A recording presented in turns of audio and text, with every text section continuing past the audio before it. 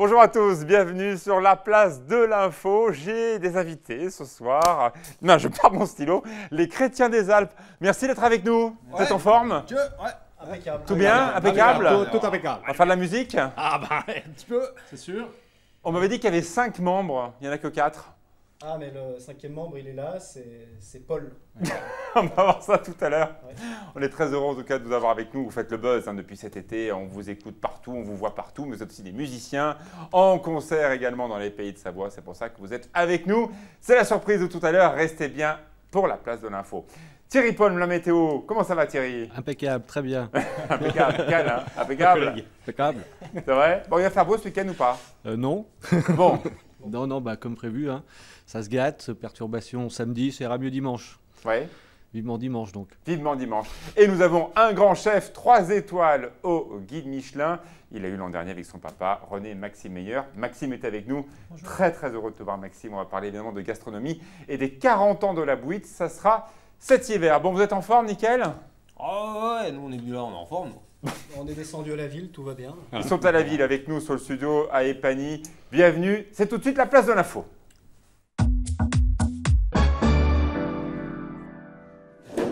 La caméra.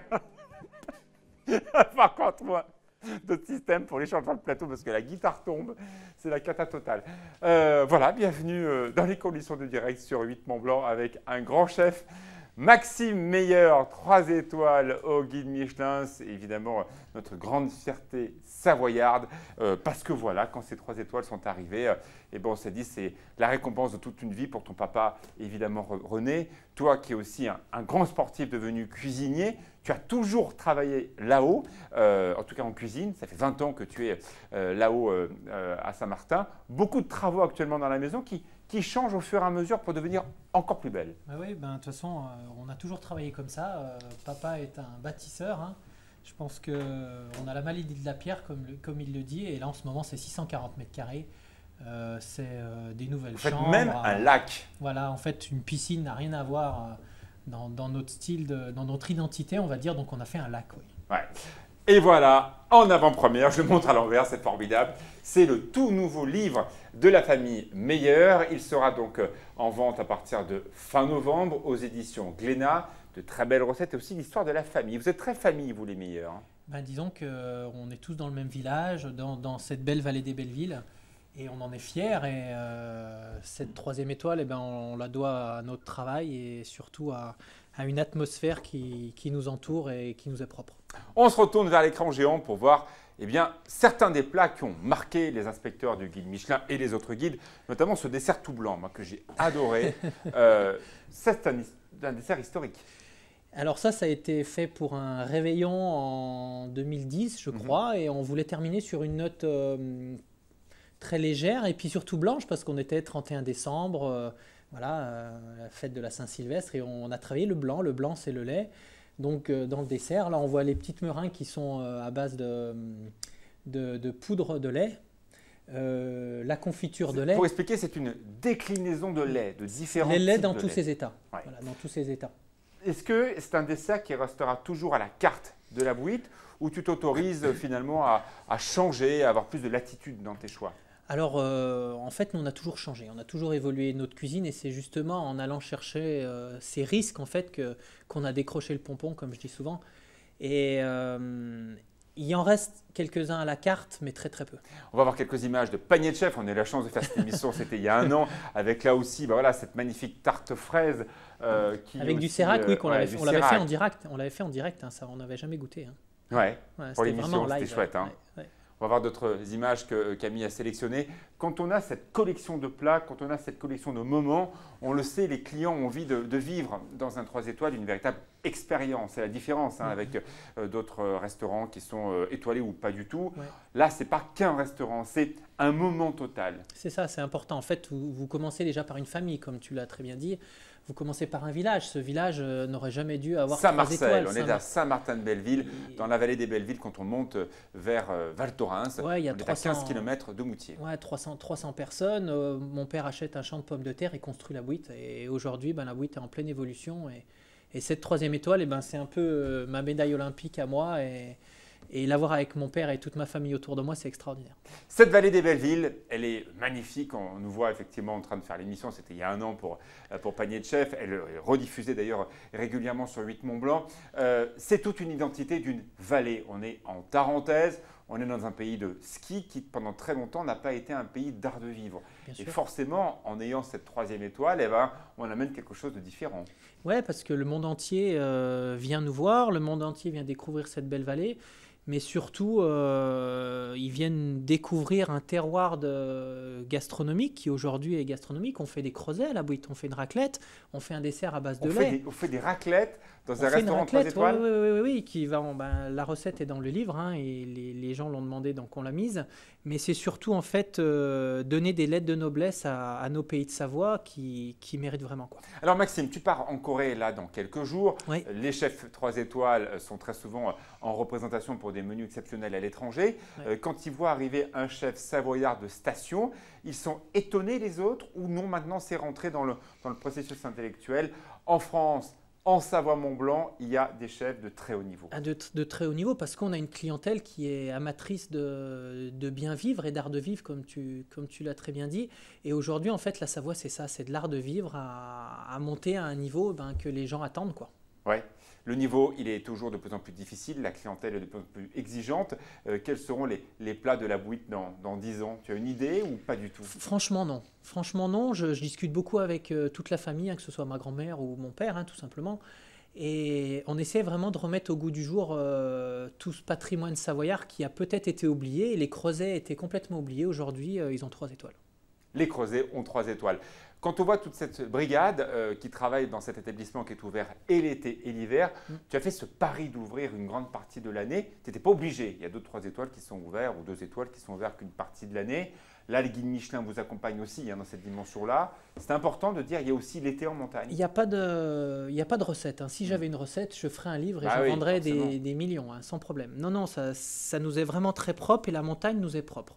Et en fait, si on était euh, sur une île, je pense qu'on cuisinerait complètement différemment Mhm. avec ce terroir, encore une fois, qui nous serait propre. Alors, ça serait plus de poissons, enfin de poissons de mer, mais ça pourrait être des crustacés, ça pourrait être des, des fruits exotiques ou je ne sais quoi. Mais en fait, l'important, c'est l'imprégnation qu'un chef peut avoir sur un territoire et le retransmettre à ses clients. Et tous ces jeunes que l'on voit actuellement sur, euh, sur l'écran géant, euh, parfois ils ne sont pas du tout de la région. Il y a aussi des collaborateurs qui viennent de l'étranger.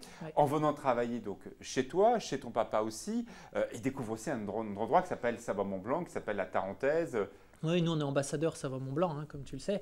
tout premier. Et, et qu'est-ce qu'on en est fier. Sou- Souvent, euh, mon, mon grand-père, il dit que c'est les, les animaux qu'on tatoue. Et moi, je ne suis, pas- je suis pas vraiment tatouage, mais je pense que le seul tatouage que je pourrais me faire, c'est un beau blason savoyard sur l'épaule. ou, euh, Je crois qu'on a un beau blason qu'on verra tout à l'heure. Ne manquez pas dans quelques instants avec les chrétiens des Alpes. On a un joli cadeau à vous faire. Ne manquez pas dans quelques instants. Dernière chose, cette, euh, cette Savoie, c'est 49 euh, restaurants étoilés dans, dans ce territoire. Euh, parle maintenant au monde entier. Euh, Est-ce que tu penses réellement que nos produits, nos produits locaux peuvent monter en gamme comme vous l'avez fait les chefs? Alors nous, aujourd'hui, on est en contact avec certaines marques savoyardes, justement, pour donner des lettres de noblesse à ces produits. Et euh, Il y a un gros enjeu. Ouais, il y a un gros enjeu et hum, je pense beaucoup au niveau du vin. Où avant, euh, mon grand-père disait que les bonnes années, ça lavait les carreaux et les mauvaises années, ça les rayait. Aujourd'hui, ça raye plus trop les, carreaux- les carreaux. Et à l'aveugle, on a quelques domaines savoyards euh, qui, rivalisent avec des beaux Bourgognes ou des choses comme ça. Et aujourd'hui, dans notre carte des Notamment vins, chez les Marétels. ouais. voilà, et dans, dans notre carte des vins, on va faire une carte euh, savoyard, mais euh, vieux millésime Ah, c'est une excellente pour idée. vraiment, Territoire. vraiment mettre en avant les, les beaux, les beaux terroirs euh, savoyards en vin parce que on se rend compte qu'il y a des millésimes qui ont 15-20 ans et qui sont extraordinaires. Des très vieilles mondeuses, du persan qu'on peut retrouver. Dernier petit mot, ce sont les 40 ans euh, donc de la bouite Mm. euh, cet hiver. Tout le monde a vu cette affaire familiale hein, où ton papa ramenait les clients qui sortaient de la piste de ski, les ramenait en 4x4 pour remonter de Saint-Martin vers les Ménuires. Ce temps est passé maintenant. Alors il est passé, mais euh, moi j'en suis très nostalgique de ce temps-là où j'avais 5-6 ans et j'étais en enfin peut-être même un peu moins, en Babigros, et à 3 ans, je sais pas, et j'allais dire bonjour à, bonsoir à mes parents avant d'aller me coucher, et beaucoup de personnes euh, ne veulent pas oublier ça. Donc aujourd'hui, dans tous les travaux qu'on fait, on perd surtout Faut pas hein. cette âme-là, parce que les gens viennent nous voir pour ça. Voilà une très bonne idée de cadeau de Noël. Voilà, vous êtes savoyard ou pas du tout d'ailleurs, vous aimez juste ce territoire. Un très beau livre euh, de recettes de cuisine, mais aussi de territoire. Voilà, c'est L'histoire de la maison. et en- l'histoire de la maison. René et Maxime Meyer, on en reparlera. La sortie est prévue fin novembre prochain. Merci beaucoup Maxime d'être venu. Merci à toi. Bon voyage, bons travaux, bon tout. Vous avez Tout un, de bon? super euh, outil de travail maintenant à ça. Bah oui. Hein, On, a- on nous a mis en plus une jolie décoration. On va voir ça dans quelques instants. Juste après, la pub.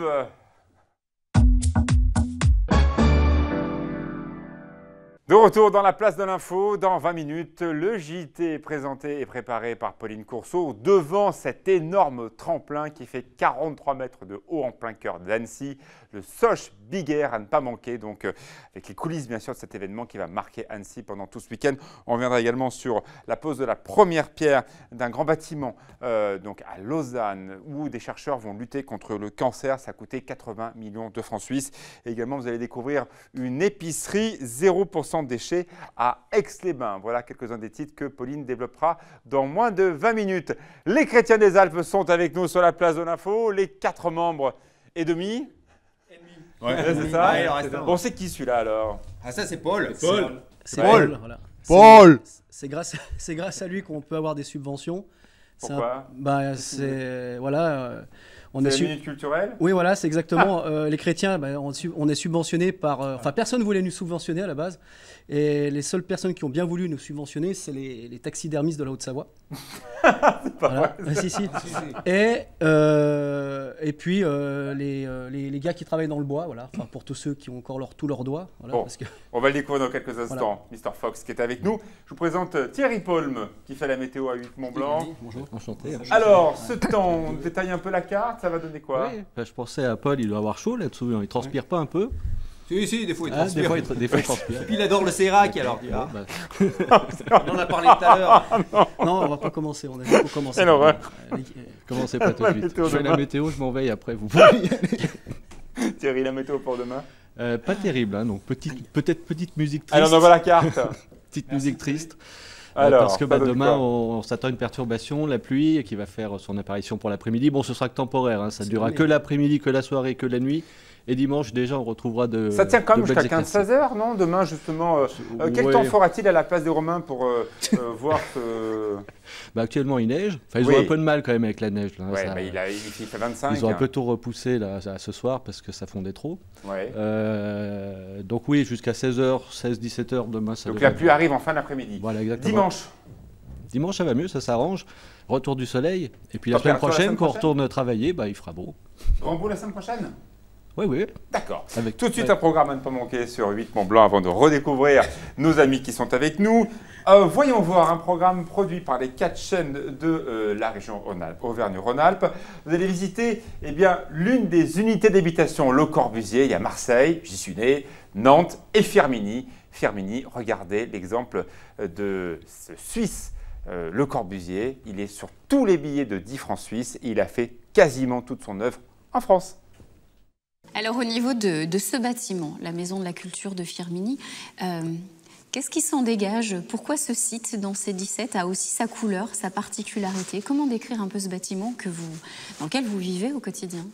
Ben, en fait, je pense qu'il y a plusieurs, niveaux. C'est-à-dire que quand les experts euh, ICOMOS et les experts l'UNESCO sont venus, euh, ce qui les a interpellés, c'est d'abord que c'est une des seules maisons de la culture que Le Corbusier a réalisée. Ça, c'est le premier point. Qu'il l'a réalisée euh, dans, le- un contexte particulier qui est la mise en place de la loi Malraux en 1961, qui, qui- vise à, à démocratiser la culture et à sortir la culture de Paris et l'amener en province, puisqu'il y a 20 maisons qui doivent être construites à cette époque-là, et que Le Corbusier part sur ce projet-là avec Eugène Claudius-Petit, le maire de l'époque. Donc je crois que ça, c'est important de le signaler aussi. À découvrir donc euh, à Firminy dans le programme Voyons voir, produit par les quatre chaînes de la région Auvergne-Rhône-Alpes. Avec nous, les chrétiens des Alpes qui cartonnent sur le net. On va voir des images, bien entendu. Alors, je vais quand même vous citer vos noms Mr. Fox est là, Double Cep est là, euh, également Laguite est là, et euh, Jason Pocha-Cotillon est ici. Félix. Il a, il a Et tout, fils. il a tout le bottin de. Des Aravis. Ouais, Les ouais. Aravis. Ouais. Alors racontez-moi, c'est une blague, c'est un groupe, vous êtes qui? Une blague? Oui, donc je sais pas. Non, parce Mais que non, non, c'est pas on une aime bien le décalage dans les Aravis. On Bah. l'a vu avec Radio Meux, on le voit avec d'autres choses. Ouais, vraie ouais. Non, non, mais- c'est pas du tout une blague. Nous, on, on s'est rencontrés. euh, on s'est Ouais, rencontrés dans les Yvelines. dans les Yvelines. Ah, dans- dans- concert. euh, on s'est rencontrés dans les Yvelines à Fourqueux. Voilà. Euh, après le concert de Lara Fabian. Ouais. Voilà. Et on s'est dit que. Ouais, il y avoir un truc à qu'on faire. fasse quelque chose. ouais. Oui, il fallait Ouais. qu'on fasse- donne un coup de main à la chanson française, donc on, on a décidé de laisser tomber notre métier. Et si on écoutait un peu de musique pour voir un peu, justement, voilà, vous le connaissez hein, forcément sur YouTube. Allez, j'aimerais qu'on mette un petit peu de, de son, qu'on comprenne un peu ce que vous faites, puis on va s'amuser un peu sur le plateau. Alors, c'est quoi tout ça? Petit gourou est persuadé de Oui. Je vais m'envoyer deux côtelettes à la chinoise bien moelleuses. C'est mercredi. Je viens de ressentir la vieille Dorothée. Détournement d'image, vous vous amusez, vous êtes musicien aussi, hein, on le rappelle. Qu'est-ce qui vous, euh, Gros Kiki Production, là on est carrément dans Groland là. Ah oui, oui. oui, Ouais. Vous assumez Pas- Totalement, puisque c'est nous en fait. C'est- un projet qui est finalement authentique, hein, la guite. On est la preuve, la preuve vivante. Euh, on a tous un métier à côté. euh, euh, Père Pachman. Perchman. euh, Oui, ça, quelle station? Secteur du Maroli uniquement. D'accord, à la Clusa. Non. Pardon, au Grand pardon, désolé. Non, mais je suis du pays du Mont Blanc. Oh là là, j'ai un président qui est de je vais me faire tuer. Alors là, Non, non, le CSA, on n'a pas le droit. Non, non, on n'a pas le droit de ça. Non, non, non, non. Non, non, non, à boire avec modération, etc., etc. Non, non, on n'a pas le droit de boire sur le plateau, ça c'est sûr. ah, on n'a pas le droit Ah non, non, non, non, on n'a pas le droit. Non, évidemment, le Maroli, c'est euh, le Grand Bornand, je vais me faire tuer. Alors, non, non, on ne boit pas sur le plateau, ça, on n'a pas le droit. D'accord, d'accord. Alors, vous êtes donc euh, des musiciens en concert, donc il y a des dates en plus importantes qui arrivent. Euh, on a vu quelques extraits euh, à l'instant. Euh, tout est écrit, il y a beaucoup d'impro, comment ça se passe? C'est euh, c'est quelque chose qui nous vient des tripes en fait. Voilà. Ouais. Euh, le meilleur exemple, euh, la meilleure source d'inspiration, je pense que c'est un peu euh, les voisins.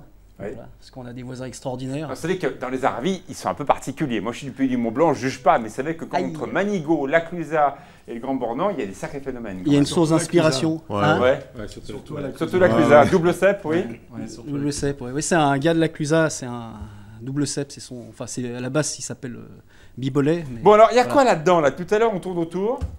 C'est. C'est le cinquième membre du groupe. D'accord, je peux l'ouvrir? Euh, Il s'appelle Paul, faut lui demander. Ouais. ouais. Ah voilà. Voilà. C'est magnifique. Alors, euh, il nous accompagne dans, dans- dans tous nos concerts.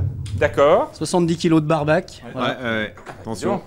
Voilà. Eh ben dis donc, donc c'est un personnage, je ne pas le toucher, qui est toujours présent sur scène. Ah mais tu peux le toucher, tu Voilà. peux le toucher. hein. Vas-y, vas-y. Mais touche-le, bon sang. Mais bon sang. Voilà, voilà. voilà, bien voilà. gentil. Il est Ne transférez pas trop, Voilà. tout va bien. Les gens viennent pour ça. hein. Non, il est très sympathique. Il parle pas Ouais, beaucoup, mais il est, il est très. Alors, on n'a pas des images. Camille a envoyé, je ne sais plus où on en est parce qu'il me trouble tous. C'est marrant, à l'image, tu as une. Tu Oui. vois, à ta, à ta droite, c'est vraiment incroyable ce qui se passe. Quoi Bah, je sais pas, c'est une espèce. On est en automne, un espèce de cep énorme à côté de toi. C'est- T'as jamais eu ça en fait. Bon, faut en profiter, fais un vœu. Fais un vœu. C'est particulier. Alors, les prochaines dates, on les cite Au nom Oui. de Dieu. Oui. Euh... Bon, on avait une tournée prévue, hein, Boston, euh, Oui, au moins. euh, New York Tokyo. et puis Tokyo. Oui, Et, plus près de chez nous, vous Les, êtes où les, les Seychelles.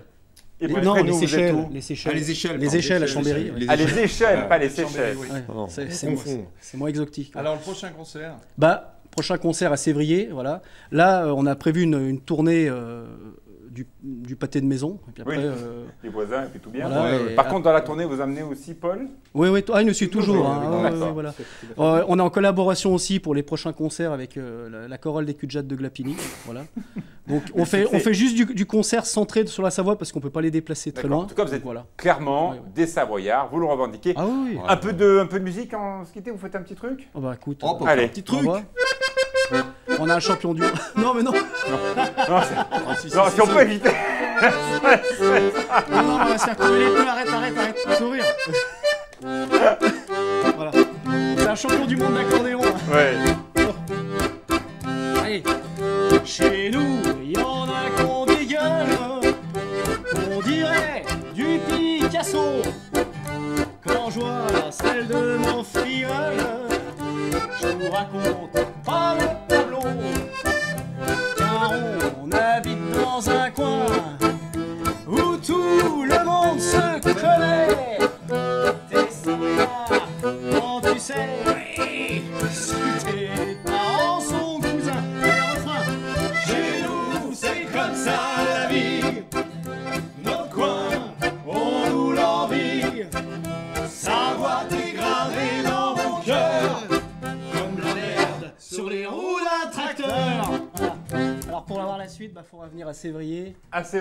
la date? Euh, je sais même plus. Donc, sais plus. Allez voir sur Facebook. Ouais. Bon, eh ben moi je pars avec Paul. C'est un excellent week-end. Ouais. On part en week-end On savait ensemble. qu'il allait y avoir des affinités. Euh, oui, nous partons à la foire d'abondance d'ailleurs. Tiens, je serai Ah, avec ah, tous nos c'est amis. Oui, oui, il y a Ah, 595e foire. Nous serons donc euh, dimanche là-bas. Passez un excellent week-end. N'oubliez pas le concert des Chrétiens des Alpes à Sevrier. Et on retrouve tout de suite Pauline Courceau qui nous attend devant ce grand tremplin, plus gros que Paul, euh, au centre d'Annecy pour le JT.